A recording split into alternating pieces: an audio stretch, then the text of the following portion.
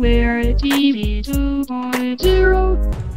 Drunker socialite driver, age 57, crashed their lives two boys front of their parents, ending off their lives because of that incident then drove off with one stop the front of her Mercedes.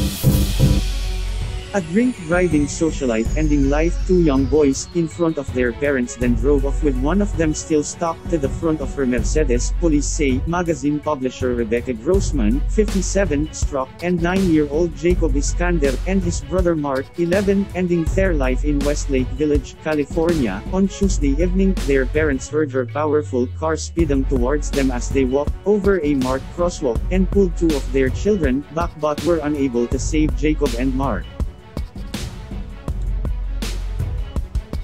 Police told Billy Grossman, whose father-in-law founded the famed Grossman Burns Center, may have been drunk and street racing when the tragedy happened. One of the two boys was carried on the hood of her white Mercedes, for 100 feet after she struck him, it is claimed, after the youngster fell off the hood of the car, Grossman is then said to have driven over him and sped off, before pulling over a mile and a half away. One of the two boys died at the scene, with the other pronounced dead in hospital shortly afterwards.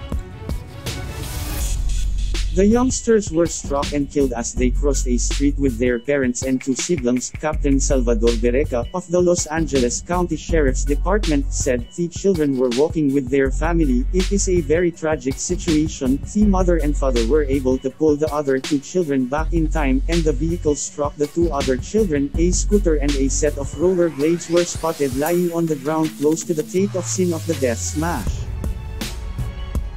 Investigators say they have a video of the smash. California State Senator Henry Stern called the smash a devastating loss for the Westlake community. Grossman, the former publisher of Westlake magazine, has been charged with two counts of vehicular manslaughter, and is free on million bond ahead of her next court appearance. She is the wife of current Grossman Burn Center director Dr. Peter Grossman, and also helped set up the Grossman Burn Foundation nonprofit.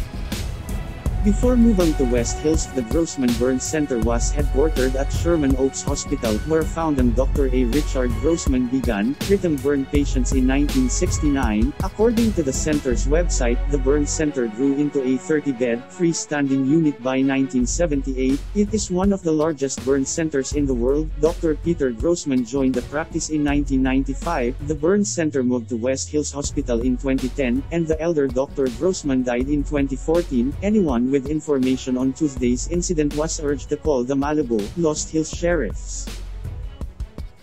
Disclaimer, some images and video clips that I used this blog are not mine, for educational purposes only.